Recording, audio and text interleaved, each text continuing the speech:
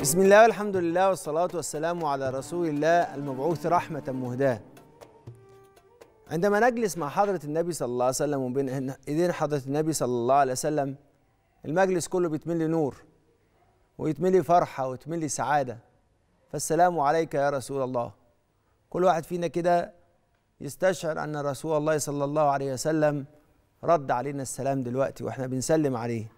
السلام عليك يا رسول الله. اللهم صل وسلم وبارك وأنعم على ذلك الحبيب الذي به تستنير القلوب وبها وبه تتسع الدروب لأنها تأخذنا إلى المحبوب سبحانه وتعالى.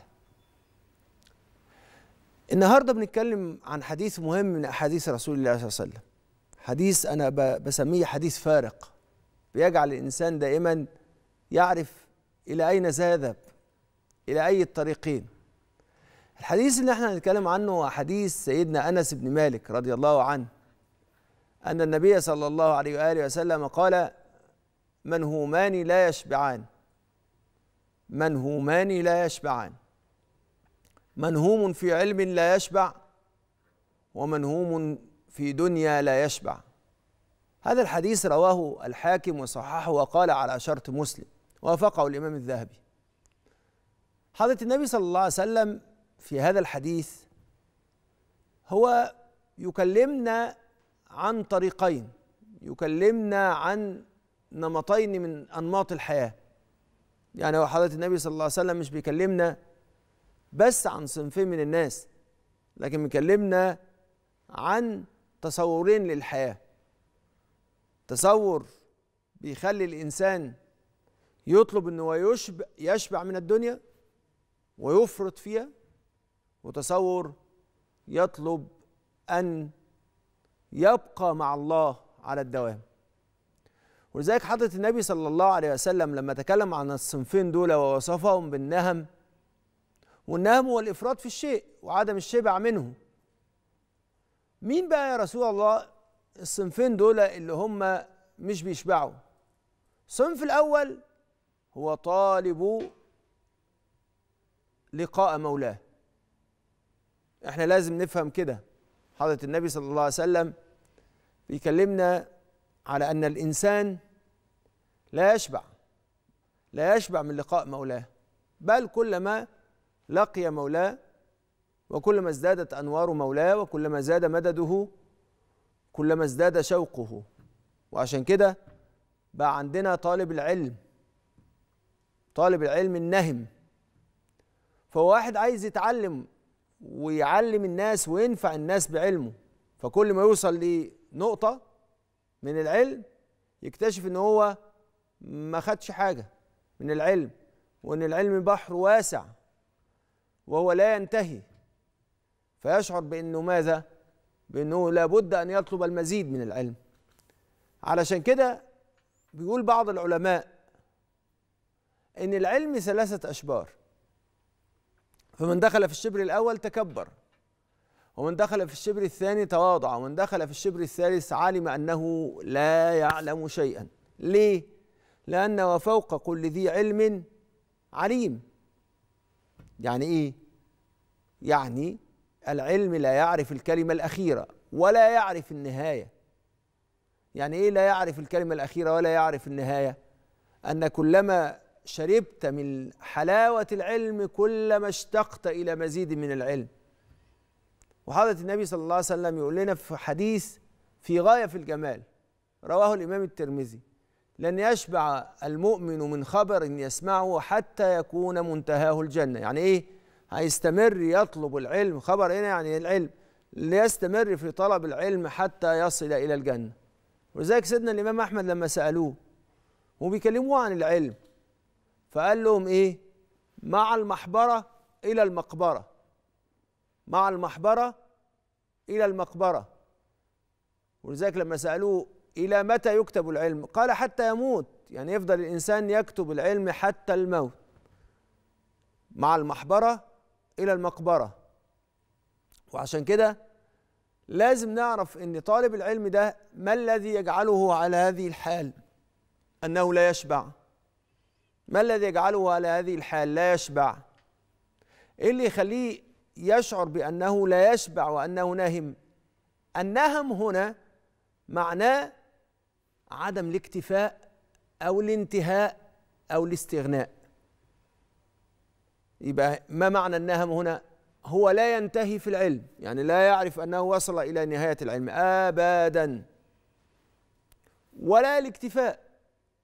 ويعرف أنه لا يكتفي بما تعلم. الثالثة عدم الاستغناء لا يستغنى عن العلم. يعني ما يستغناش بعلم عن علم. لا خالص. يبقى ما إيه معنى النهم هنا؟ ده معنى ده معاني كلها إيجابية. عدم الانتهاء. آه العلم لا يعرف الكلمة الأخيرة. لا ليس له نهاية. وأن إلى ربك المنتهى. يبقى خلاص. الحاجة الثانية عدم الاكتفاء. هو ما بيكتفيش بعلم عن علم. ليه طيب؟ لأن العلوم بتزداد نورا بعضها ببعض مش في علم بيكفي عن علم. الحاجة الثالثه عدم الاستغناء. هو ما بيستغناش عن العلم لا هو حاسس إن هو طول الوقت محتاج إلى العلم وكل ما بيتعلم بينظر إن هو محتاج للعلم. وهو عشان كده في الآخر خالص قلنا ومن دخل في الشبر الثالث علم أنه لم يعلم شيئا. يعني ما فيش حد للتعليم ولا في سن. ويمكن إحنا شفنا نماذج كتيرة من الأبطال اللي اتعلموا وحصلوا على الماجستير والدكتوراه وهم بسنهم كبير ساعات فوق الستين وفوق السبعين. وشفنا ناس كمان ظروفهم الصحية صعبة ومع ذلك حريصين كل الحرص على طلب العلم بسبب النهم. هنا بقى النهم ده اللي هو عدم الشبع محمود. ليه محمود؟ لأنه في مرضاة الله والاستكثار منه استكثار من حب الله والقرب من الله والإقبال على الله. يبقى ده الصنف الأول. النهم المنهوم الذي هو ماذا؟ الذي هو لا يتوقف عن طلب العلوم. ليه؟ لأنه يعلم أنه يعلمه الرب الكريم علام الغيوب. آه يبقى هو دوت. يبقى هو ليه بقى؟ ليه بيحب طلب العلم؟ لأنه يعلم أن الله هو الذي يعلمه. واتقوا الله ويعلمكم الله. وعلم آدم الأسماء كلها. يبقى مين اللي بيعلم؟ الله سبحانه وتعالى. فهو لا يشبع. وربنا جعل العلم هنا رمز لطلب الله. رمز طلب الله ليه؟ لأن العلم فيه حاجتين.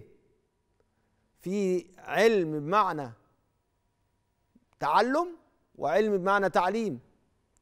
فهو ده معناه إيه؟ أنه يطلب الله لا لنفسه بل يطلب الله لنفسه ولغيره. فبقت الدائرة م... الدائرة متسعة والدائرة كلها تدور على مرضاة الله. وعشان كده هو لا يشبع لأنه لو كان يتعلم لنفسه لكفى لكن ده بيتعلم لنفسه ولغيره خلاص يبقى كده هذه دائرة من النور. يبقى هذا النهم كلما انتهى ابتدى كلما انتهى ابتدى. هذه الدائرة اسمها دائرة إيه؟ دائرة النور. دائرة الإيه؟ النور. لكن يخبرنا حضرة النبي صلى الله عليه وسلم إن في نوع تاني من النهم. معظمنا بيتعرض ليه. هو النهم بالدنيا. وفي رواية بتقول طالب مال طالب علم وطالب مال. فحضرة النبي صلى الله عليه وسلم بيعلمنا إن في الحديث بيحكي لينا عن طبع من طباع الناس طباع الإنسان طباع البني آدمين وعاده من عاداتهم اللي ملازماهم اللي ملازمة أغلب البشر واللي هي الحرص على المال والحرص على الدنيا. وربنا أثبت حقيقة مهمة في كتابه العزيز لما قال وتحبون المال حبا جما وكمان سبحانه وتعالى قال زين للناس حب الشهوات من النساء والبنين والقناطير المقنطرة من الذهب والفضة. طب خلاص دي حاجة عند ناس كتيرة وفي حياة الناس. زين للناس يعني أغلب الناس. وأنا عايز أقول إن حب المال مش حب المال باعتباره نعم باعتباره عطية ورزق من الله مش جريمة ولا ذنب. لأن الله سبحانه وتعالى قال المال والبنون زينة الحياة الدنيا. إنما المذموم إيه؟ هو الشره يعني إذا كان المال أو الولد أو حتى الدنيا فدي عطية من الله فهي في ذاتها في ذاتها عطية نعمة. لكن إيه المذموم وإيه الحرام وإيه اللي يودي الواحد في داهية؟ الشره والطمع. اللي يخلي الواحد يحصل الدنيا ويحصل المال من حله ومن حرامه. أو بالتهبير أو بالتعبير النبوي النهم اللي ملوش نهاية ولا يعرف لا اكتفاء ولا يعرف نهاية. وعشان كده حضرة النبي هنا بيفرق لنا ما بين معنيين مهمين. الأول حب الدنيا والنهم بيها وده المنهي عنه. وبين حب الحياة وحب الإيه؟ ما بين حب الحياة وده شيء وقيمة مهمة جدا جدا جدا في حياتنا. وده يعبر عنه رسول الله صلى الله عليه وسلم إذا قامت القيامة وفي يد أحدكم فسيلة فليغرسها. فليفعل. ونطلب الدنيا. لكن عندما يتحول ده إلى نهم فنجري كالوحوش في البرية. ونتصارع ونتقاتل. ويسفك بعضنا دماء بعض. وتقطع الأرحام في هذه في هذه المسألة في هذا النهم. ويصبح النهم ده هو اللي مسيطر علينا في كل تفكيرنا. فنقع كما قال صلى الله عليه وسلم هلك عبد الدينار. فيبقى هبد الدينار. وهلك عبد الخميصة فنهلك. إذا حضرة النبي صلى الله عليه وسلم بيحكي لنا عن طبيعة للإنسان. والطبيعة دي ممكن يتم تهذيبها بالمناسبة عن طريق تزكية النفس ونفس وما سواها فألهمها فجورها وتقواها قد أفلح من زكاها. ويبقى نهمنا فيما يرضي الله سبحانه وتعالى وما يحب وما يرضاه لنا. طب نعمل إيه بقى؟ أول حاجة عشان ما كانش دايما أنا بحب وأنا بقرأ أحاديث رسول الله صلى الله عليه وسلم أقرأ إن رسول الله صلى الله عليه وسلم عنده بلاغة. هل ممكن يكون نعرض وإحنا بنعرض الإجراءات اللي إحنا ممكن نحلها إن رسول الله صلى الله عليه وسلم بيعلمنا إن النهم في الدنيا ممكن يحلوا النهم في العلم؟ الجواب نعم. إزاي يعني؟ إن حضرة النبي صلى الله عليه وسلم بيعلمنا إن النهم في العلم يقلل عننا النهم في الدنيا. إزاي؟ إن النهم في العلم يعرفنا بالله. فلما نعرف الله إيه اللي يحصل؟ تسكن نفسي وأن الله سبحانه وتعالى وفي السماء رزقكم وما توعدون. فأصبر ما ما اصرعش على على على الدنيا. فأعرف الله سبحانه وتعالى. ولما كمان أبقى ناهم في العلم يبقى عندي حاجات تانية ممكن أنشغل بيها. أنشغل بالنور. فأنا لو عندي مال وعندي دنيا أنشغل بالمال أنشغل بالعلم الذي يجعلني أستثمر هذه الدنيا فيعود بالخير علي وعلى الناس. اذا النهم بالعلم يحل مشكلة النهم بالدنيا بإن الدو بيبقى المال عندي يمكن استثماره فنعمل فنعمل المال الصالح للرجل الصالح.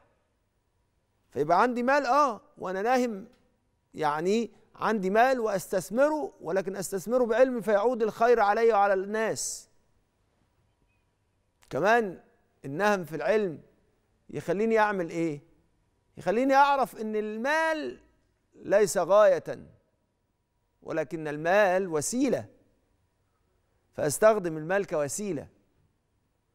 يبقى العلم علمني من صاحب هذه الدنيا؟ الله. فما بقاش منهوم. ليه؟ لأن هو قال وفي السماء رزقكم وما توعدون يعني اطمئنوا بلاش تبقى شره. طيب. الحاجة التانية إن نهمي بالعلم يحل كمان نهمي من الدنيا. ليه؟ هتعلم إزاي استثمر العلم؟ فبدل ما ابقى عندي شره في امتلاك الدنيا استثمر الدنيا. فلما استثمر الدنيا إيه اللي يحصل؟ يحصل سعة. الحاجة الثالثه لما أبقى ناهم بالعلم إيه اللي حاصل؟ أحس بان العلم بيقدم لي أطروحات كتيرة في الحياة. فأبتدي أعمل إيه؟ أجعل المال ليس غاية ولكن أجعله وسيلة. فأرتاح. وما أفضلش أجري وراه. لأن إيه اللي بيخلينا يبقى عندنا نهم بالمال ونهم بالدنيا؟ بأن الدنيا لا تصلح أن تكون غاية والمال لا يصلح أن يكون غاية. فأنا إذا جعلت المال أو الدنيا غاية إيه اللي حاصل؟ كل شوية بقى ايدهم تقل واجدهم لا يصلحوا انهم يقولوا غاية. فتأتي نفسك تقول لي يبقى انت لو أكثرت لو أنك أفرطت في طلب الدنيا لو أفرطت في طلب المال ستصل إلى غايتك. أصلا أصلا الفكرة غلط. من قال أن الدنيا أو أن المال غاية الدنيا والمال وسيلة. ولذلك الله سبحانه وتعالى يعطينا هذه الأشياء وسائل لكي نحقق القيم ونعيش بالغايات ونعيش بحسن الأخلاق. وعشان كده لازم نفهم ده بشكل واضح. مع هذا الربط لهذا الحديث أيضا عندنا ثلاث إجراءات هنقولهم بسرعة. أول إجراء بيقلل النهم في المال ان أنا لا أتعلم طريقه لاستثمار المال واستثمار الدنيا دائما. لأن أنا لما أستثمر المال واستثمر الدنيا أنا هخرج من مسألة اكتناز المال وأخرج كمان من اللهث. خرف الدنيا ويبقى في أمور تانية. الحاجة الثالثه الحاجة الثانية إن أنا لابد طول الوقت أكثر من حمد الله على نعمة المال ونعمة الدنيا.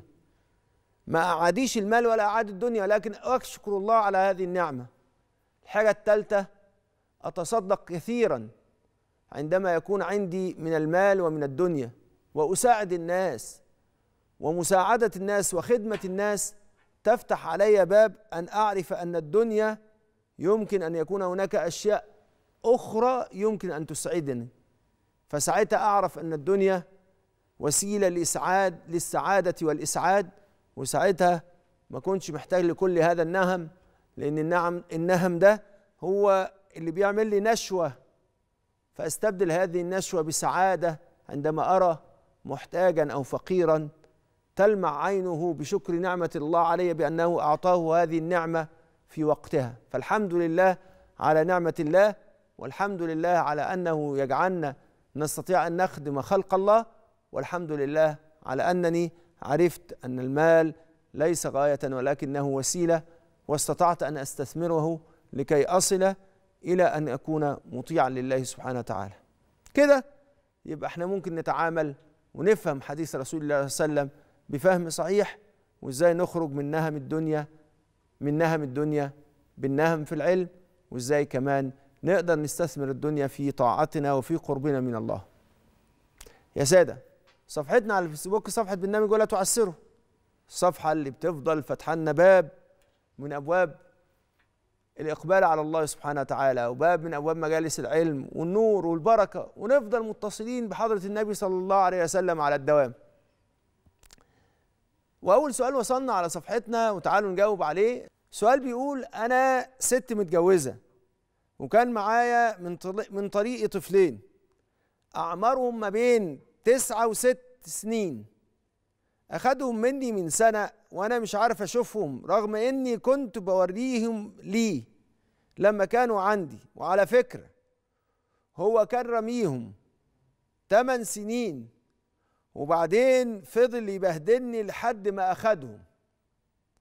نفسي أشوفه أشوفهم ليهم سنة بعيد عن عيني. وحشوني أرجو الإفادة. حضرتك طبعا مش طالبة مني الإفادة قد ما طالبة مني مناشدة لزوج حضرتك إن هو يتقي الله في الأولاد. تعالى بس أقول لحضرتك حاجة. هم ما بين ست وتسع سنين دول هم في الحقيقة ما خرجوش إن هم يبقوا محتاجين أمهم بالعكس. هم ما زالوا محتاجين أمهم احتياج شديد.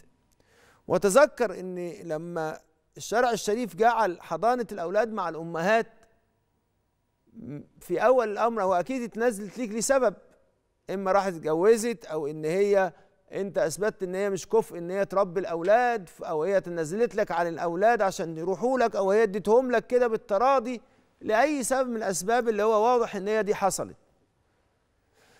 فإيه اللي حاصل بقى؟ فالأولاد عندك. بس هم أنت مش مش مش فزت إن أنت تحصل على قطعة من قطعة من الذهب أو قطعة من من المجوهرات اللي كنت مسروقة منك وأنت رديتها. آه على فكرة بعض الناس بيعتبروا إن أولادهم لما بيكونوا متاخدين معاهم كأني مثلا شقتهم اتسرقت. أو كان حد حرامي جه خد محفظته. فلو رجعوا له اولاده ورجعوا له اولاده إيه اللي حاصل؟ ومحفظته رجعت له يعني فلوسه حقه رجع له. لا الاولاد مش شيء. آه أنا بس عايز أقول لحضرتك وأقول لها هي كمان. أقول لكم أنتوا الاثنين الأولاد مش شيء الأولاد بني آدمين. ليهم حرمة. وليهم قدسية عند الله سبحانه وتعالى. والأولاد دول الأطفال دول أحلى ما فينا. ومش من حق أي حد يلوثهم أو يأذيهم أو يكسر بخاطرهم أو يتعامل معهم على إن هم حاجات ملهاش لازمة. أنتوا لو هتعملوا كده مع أولادكم للأسف أنا هكلمكم أنتوا الاثنين اوعوا تكونوا بتتلاعبوا بالأولاد على إن كل واحد فيكم يملك الأولاد ومسكهم وفاز بيهم على حساب التاني وانتصر في معركته. وكأني أسمع رسول الله صلى الله عليه وسلم وهو بيقول لنا ماذا أفعل إذا كان الله قد نزع الرحمة من قلبك؟ الأولاد ما بيتلعبش بيهم. والأولاد مش ساحه معركة بنسبة كل واحد فيهم إن هو خسر لما طلقني ولا بثبت له إن هو إنسان غير كفء أو هي بتثبت له أو هو بيثبت لها إن هي الست غير موثوق فيها. عشان يثبت لنفسه إن هو ما ظلمهاش أو تثبت لنفسها إن هو ظلمها لما هو طلقها. الحقيقة ده من أسوأ الأشياء اللي إحنا بنعملها تجاه أولادنا. أنا بكلمكم أنتوا اتنين وبكلمك أنت بالذات لو كنت أنت فعلا بتمنع الأولاد إن هم يشوفوا أمهم. أمهم الأولاد مش أمهم بس اللي محتاجين لها. الأولاد اللي محتاجين لأمهم. وخلي بالك الأولاد لما يكبروا مش هيسامحوك على إنك أنت منعتهم من أمهم إذا كانوا متعلقين بيها أو كانوا بيحبوها. إحنا عندنا مشكلة أساسية. إحنا لازم نحط قدامنا حديث رسول الله صلى الله عليه وسلم إن من أعظم الإثم أن يضيع الرجل من يعول. أنا بقول لك منعك أو منعك والكلام ده بنشوفه كتير منعك أو منعك إن أولادك يشوفوا أبوهم أو أولادك يشوفوا أمهم ده تضييع للأولاد. فاتقوا الله في الأولاد واحفظوهم من اللجوء إلى الاحتواء البديل. ارحمهم من إن هم يدوروا على أم يتسولوها في الطرقات. اتق الله سبحانه وتعالى ولا تظلم فإن الظلم ظلمات يوم القيامة. يا سادة هنكمل أسئلتكم المباركة اللي وصلتنا على صفحتنا. نكمل إجابتها ونقرأها معاكم بتمعن وبنظر سألني الله ان هو يعيننا على أن نجيبكم بالإجابة اللي تخلينا دايما في طاعة ربنا وفي حب رسول الله ولكن بعد الفاصل.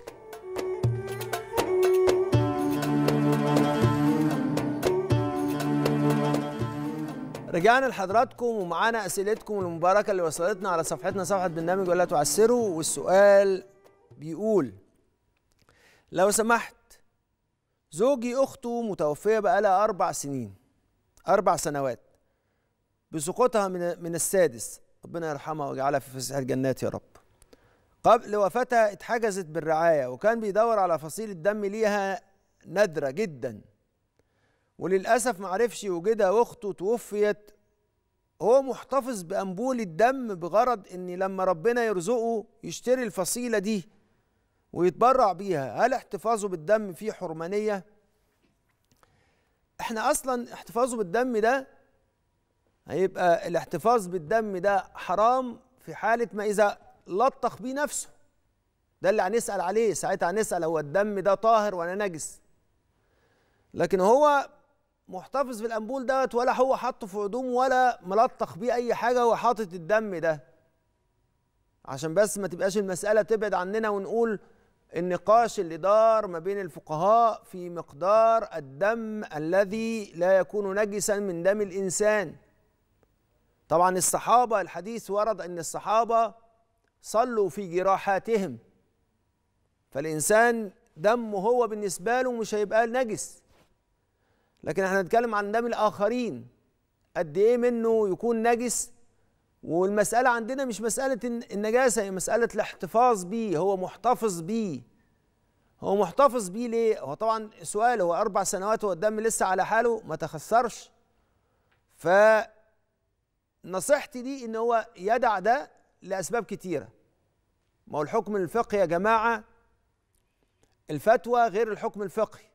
يعني إحنا مش بنتكلم دلوقتي في النجاسة وفي اختلاف مقدار النجاسة ما بين السادة المالكية والسادة الحنفية لكن إحنا بنتكلم إن نجاسة دم الآخرين. لكن إحنا بنتكلم على إن هم متفقين على إن القدر القليل من الدم ليس بنجس. لكن هي المسألة إن إحنا مسألة تانية مهمة. هي مسألة إن الاحتفاظ أنت سألتيني عن الاحتفاظ بالدم هو ممكن حد يخرجه على ده لكن أنا بتكلم على احتفاظه بالدم. أنا احتفاظه بالدم مش بس فكرة هل الدم نجس ولا مش نجس بس. لكن أنا عندي بعد تاني مهم جدا واللي بيفتي لازم يشوفه ده. اللي هو بعد إيه؟ البعد النفسي. البعد الايه؟ النفسي ان هو محتفظ بدم اخته. اللي توفيت من أربع سنوات. أنا عايز أقول لك حاجة هو ليس محتفظا بهذا الدم لأنه يريد أن يتبرع بنفس فصيلة الدم. أصل فصيلة الدم دي تتكتب في ورقة فصيلة الدم تتكتب في ورقة هو محتفظ بهذا الدم لأنه في الحقيقة هو عنده شعور شديد جدا جدا جدا جدا قد يكون بالتقصير في حقها أو قد يكون هو مش حاسس هو مش عايز يحس إن هي مشيت.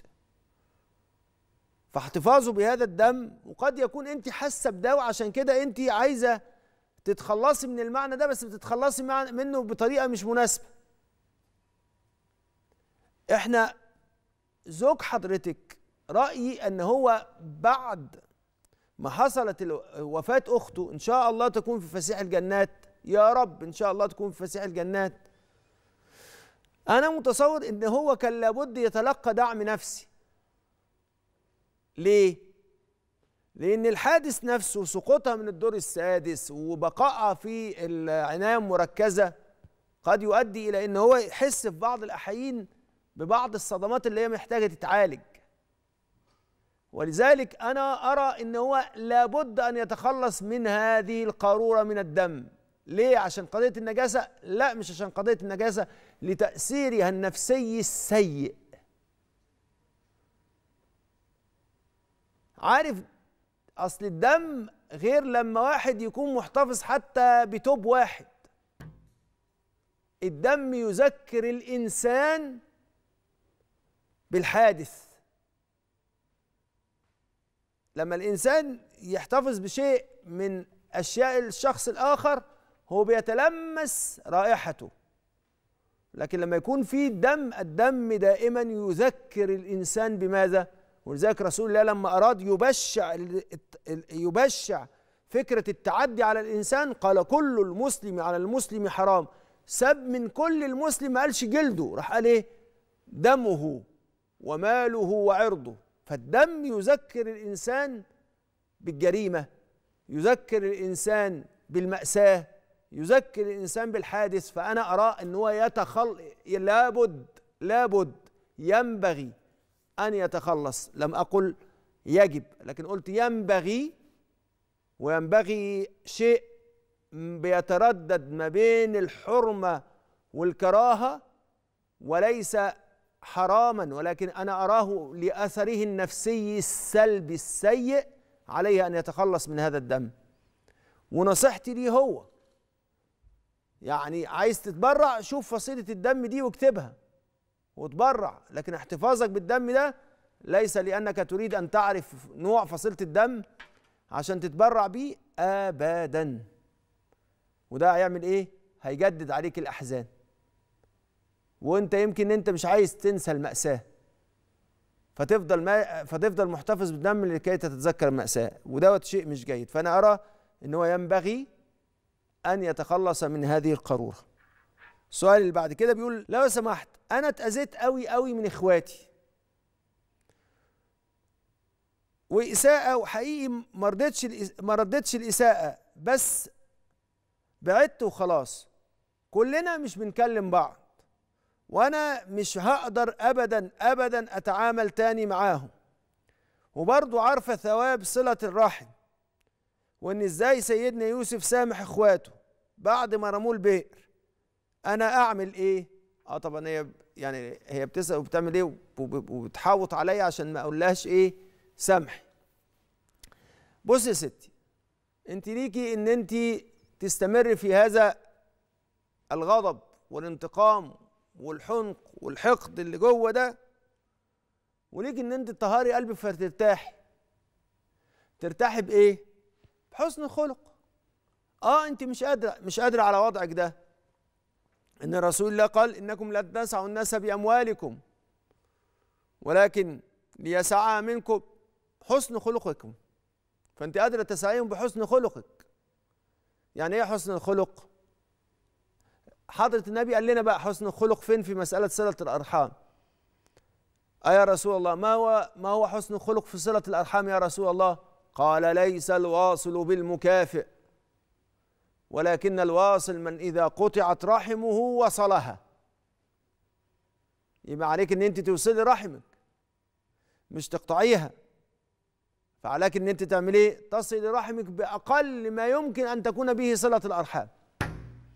يعني إيه؟ يعني ما فيش مفر؟ لا ما فيش مفر. إن أنت تصلي رحمك هل معنى إن أنت تصل رحمك إن أنت ترجع المية لمجاريها ونرجع زي ما زي ما كنا زمان؟ لا تصلي رحمك ولا تقطعيها. ليه؟ أنت مش حمل إن الرحم تيجي تخصمك يوم القيامة أمام الله. لأن الرحم ماذا فعلت؟ قالت هذا مقام لا إذ بك يا رب. قال ألا يكفيك أن أصل من وصلك وأن أقطع من قطعك؟ تخيلي بقى في في قطع الرحم قاطع للبركة والنور والف... يا إحنا حمل كده؟ وبعدين تيجي صلة الأرحام تقول دي اللي قطعت دي اللي قطعت صلة الأرحام فالله سبحانه وتعالى يمنعك. ما هو في تفسيرين إن القطع بيكون في الدنيا وإن القطع بيكون في, في الآخرة. وإحنا لا حمل القطع في الدنيا بتضييق الأرزاق ولا تضييق ولا منع البركة ولا محق. مش حمل ده. محك البركة ولا إحنا كمان حمل ده في الآخرة. إحنا لا حمل ده لا في الدنيا ولا في الآخرة. طب نعمل إيه بقى؟ نصل رحمنا بأقل القليل بكل ما نستطيع أن نصل رحمنا به. وده يبقى لنا مثوبة عند الله ويفتح علينا الرزق الحسن ويبارك لنا سبحانه وتعالى بصلة الرحم. ومش تخسري حاجة إن أنت تسألي عليهم بالتليفون. حتى لو أساءوا إليكي حتى لو أساءوا إليكي. تقول لي إزاي؟ لأن العهد الذي بيننا وبين الله أن نطيع الله في من عصى الله فينا. ده العهد اللي بيننا وبين ربنا. ادفع بالتي هي أحسن. فإذا الذي بينك وبينه عداوة كأنه ولي حميم. هو ده العهد اللي بيننا وبين الله. مش العهد اللي بيننا وبين الله إن أي حد يأذينا هنعمل إيه؟ هنرد له الكلمة كيالين لا. يبقى إيه اللي حاصل؟ صلي صل رحمك بأقل ما يمكن أن تصل به رحمك. عشان تفضلي من أهل وصل الأرحام. السؤال اللي بعد كده بيقول ممكن سؤال يا شيخ هو لو واحدة موظفة المفروض فلوسها ليها وللبيت ولو شالت فلوسها والبيت محتاج ده حرام؟ ولا إيه؟ رغم إن هي بتصرف في البيت وشايلة مسؤولية مسؤولية برضه وجوزها مرتبه بسيط ومش مقصر. الزوجه بتسأل سؤال شوية دقيق. هي بتقول إيه؟ السؤال ممكن يتسأل بطريقة تانية. هو أنا لو معايا فلوس والبيت ما زوجي معهوش اللي يوسع بيه علينا فإيه اللي حاصل؟ فجوز فجوزها بينفق من سعته ينفق ذو سعة من سعته فإيه اللي حاصل؟ هو قدر عليه رزقه. فإيه اللي حاصل؟ فلينفق مما أعطاه الله سبحانه وتعالى ومما رزقه الله. طيب. ولكن هم مش مرتاحين. في عجز. وهي معاها فلوس. الصورة بتبتدي بتحصل لما الستات تيجي تقول لنا والله أنا بشيل الفلوس ده للزمن. أنا شايف الفلوس دي للزمن. صحيح إحنا عايشين في دقيقة ومعرفش إيه. بس أنا شايله الفلوس دي للزمن. تعالي نقول شوية قواعد كده ونقول إحنا هنعمل إيه. أول قاعدة أن المرأة لها ذمة مالية مستقلة وأن الإنفاق على البيت من مسؤوليات الزوج. يبقى أول حاجة المرأة لها ذمة مالية مستقلة والذي ينفق على البيت هو الزوج. تمام؟ ونعيش على على مقدار ما عند الزوج. طيب. وبناء عليه الزوجة لا يفر... ليس فرضا عليها أن تنفق من أمالها على البيت. تمام؟ ولكن إذا كان الشرع حفز الناس للتصدق على الأغراب لسد حاجتهم أليس من الأولى أن يتصدق الزوجة على بيتها وعلى أهلها إذا كان زوجها؟ هذا وسعه من أفضل يبقى الحكم في الحالة دي بعد ما حطينا الثلاث قواعد دي إيه؟ إن من الأفضل إن الزوجة تساعد إن كانت قادرة على ده من الأفضل لكن هل واجب عليها يعني إذا هي ما ساعدتش تبقى آثمة؟ لا لكن ليس من المروءة إن البيت يكون بهذا الحال من من التقص من إحساس بإن البيت ما فيهوش ما فيهوش أكل أو ما فيهوش شرب لإن خلاص الفلوس خلصت. والزوجة عندها مال. وإيه اللي حاصل؟ ولا تدفع. ليس هذا من المروءة. ليس هذا من الشهامة. طب لو دفعت لها ثواب عظيم في البيت. أنا بقول كده ليه؟ عشان إحنا بنتكلم عن واقعنا مش بنتكلم عن واقع حد تاني. يعني كل اللي قاعد يتكلم إن الزوجة مش واجب عليها إن هي تنفق. لكن بس واحدة واحدة بس. مش واجب عليها. خلاص مش واجب عليها ان هي تنفق في البيت وإحنا متفقين على ده. لكن البيوت يا سيدي ما ينفعش يبقى حد معه حضرة, حضرة رسول الله صلى الله عليه وسلم ما نخليش قضية الرجل والمرأة تبوظ علينا سائر أحكام الشريعة. سائر أحكام الشريعة أنا مش بتكلم دلوقتي على إن الزوج ومين اللي عليه ومين الملزم ومش الملزم. أنا بتكلم دلوقتي على قوله صلى الله عليه وسلم من كان عنده فضل ظهر فليعد على من لا ظهر له.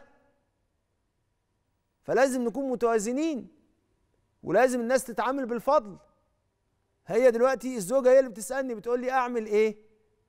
أنت لا تكوني آثمة إذا لم تنفقي ولكن ولا تنسوا الفضل بينكم. البيت بيدور بالفضل. من كان عنده ظهر ظهر آه، فضل ظهر فليعد على من لا ظهر له. فأنت عندك دلوقتي مال. لو عدت بيه على بيتك وأسرتك مفيش حد هيقول لك إن اللي عملتيه دوت مش ربنا سبحانه وتعالى مش هيفرج عنك كما فرجت عن البيت. فأنت إذا كنت بتسأليني ده جوابي وإن شاء الله سبحانه وتعالى يجعل كل ده في ميزان حسناتك ويبارك لك إن شاء الله. السؤال اللي بعد كده بيقول السلام عليكم ورحمة الله وبركاته. أنا رجل مسن وعاجز ومشلول هل لي الصلاة في غير اتجاه القبلة؟ لو حضرت الصلاة وأنت لا تستطيع أن تستقبل القبلة لأن المريض إذا كان وهو في مرضه حضرتك بتقول مشهور إن شاء الله ربنا سبحانه وتعالى يجعل ده في ميزان حسناتك. وشق عليك إن أنت ما عندكش حد يساعدك أو إن أنت مش قادر تتجه إلى القبلة. وهو ده اللي استقر في الفتوى في الفتوى. بأن هو ما حدش ما فيش حد يوجهك إلى القبلة وأنت مش قادر تتجه إلى القبلة آه لك إن أنت تصلي على حالك حتى لو لغير القبلة ولا إعادة عليك كما أفتى كما هو مذهب السادة الحنفية والسادة الحنابلة. يبقى أنت لا عليك تعيد وأنت صلاتك صحيحة لأن أنت لا تتمكن من استقبال القبلة وإن هو ده حالك ولك أن تصلي وصلاتك صحيحة لأن أنت لا تتمكن من استقبال القبلة لأن هذا هو ما تستطيع ولا يكلف الله نفسا إلا وسعها. لا يكلف الله نفسا إلا وسعها وأنت فعلت ما عليك. فعلت ما عليك يعني إيه؟ زي الرجل. الرجل ماله؟ الرجل بيكون عليه حدث وقد يكون حدثا أكبر. قد يكون حدثا أكبر أو أوسط. قد يكون حدثا أوسط عنده جنابة. وحضرت الصلاة ولا ولا وليس عنده ماء ليس عنده ماء وليس عنده كمان آه تراب. فبيصلي على حاله إحنا مش بنقول بقى زيه زي إذا رأى الماء يعيد لا هو دلوقتي مش هيعمل كده مش زي فقد الطهورين. لكن استقبال القبلة كما ذهب إلى ذلك السادة الحنفية والسادة الحنابلة يبقى هو يصلي على حاله وإن شاء الله صلاته مقبولة وليس عليه إثم. يعني إيه وليس عليه إثم؟ لا هو عليه إثم. ولا عليه إعادة. وهذا هو المفتى به إن أنت تصلي على الحال التي تتمكن بها من الصلاة. وليس عليك أن تفعل شيئا فوق ذلك. ليه؟ لأن الصلاة حدثت لها شروط إما الشرط الأخير فأنت لا تستطيع أن تحققه ولذلك صلاتك ستكون صحيحة وليس عليك الإعادة. يا سادة إحنا النهارده اتكلمنا عن حديث رسول الله صلى الله عليه وآله وسلم. حديث الذي الله سبحانه وتعالى أوحى إلى حضرة النبي إن هو يكلمنا على معنى مهم جدا من معاني الحياة.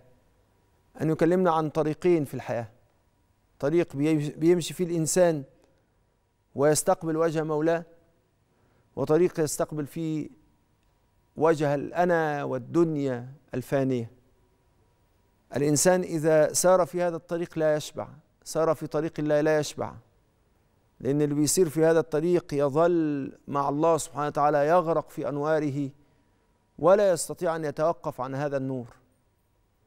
وحضرة النبي صلى الله عليه وسلم وضع لنا رمز لده بطالب العلم فهو منهوم لا يشبع. وقدم لنا رمزا آخر. الرمز الآخر كان بطالب الدنيا وطالب المال فهو أيضا لا يشبع. ولذلك رسول الله صلى الله عليه وسلم علمنا إن إحنا وكأنه أشار علينا ونبهنا أننا نكون من طلبة العلم. وقلنا إزاي طلب العلم ممكن يغير النهم في طلب الحياة وطلب المال. يا سادة خلونا دايما نكون من أهل طلب معرفة الله ومعرفة أن الله سبحانه وتعالى معنا وأننا لا نستح لا ن... لا نريد ولا يجب علينا أن نستزيد إلا من طلب قرب الله إلا من طلب رضا الله إلا من طلب التنور بأنوار حضرة الله القدسية. فإذا فعلنا ذلك نجونا. اللهم إنا نسألك أن تجعلنا من الذين يطلبون قربك ويطلبون ودك ويطلبون رحمتك ويطلبون فضلك ويطلبون كرمك ويطلبون أن تعلمنا بعد أن نتقي أن نكون في غير مرضاتك يا رب العالمين. اللهم اجعلنا في مرضاتك وعلمنا أنك على الدوام تتودد إلينا وتمدنا بمددك وبرحمتك وبفضلك يا كريم. يا رب العالمين أكرمنا بعلم ينير قلوبنا ويجعلنا في الصالحين. ومع الصالحين يا رب العالمين.